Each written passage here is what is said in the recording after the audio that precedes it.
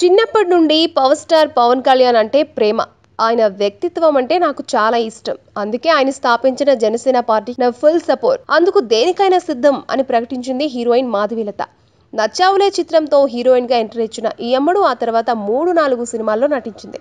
అయితే కెరియర్ పరంగా పెద్దగా సక్సెస్ దక్కకపోవడంతో ఈ అమ్మడికి అవకాశాలు తగ్గాయి. దీంతో తెలుగు సినిమా పరిశ్రమలో అవకాశాల పేరుతో హీరోయిన్స్ను వాడుకోవడం తదితర అంశాలపై హాట్ కామెంట్స్ చేస్తూ వార్తల్లోకి ఎక్కింది.